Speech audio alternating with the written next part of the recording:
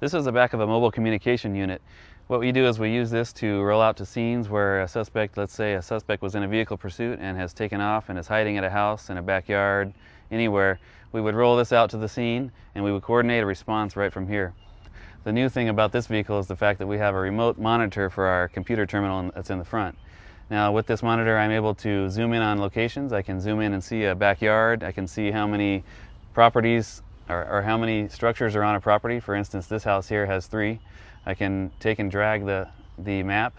There's a freeway here and more houses on the other side of the freeway. So it helps us to set up containments and other dynamic situations like that.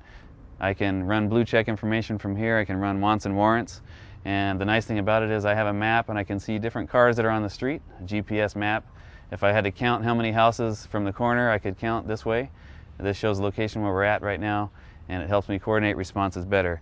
I'm also able to see the other units that have responded and where they're coming from and where I want to place them.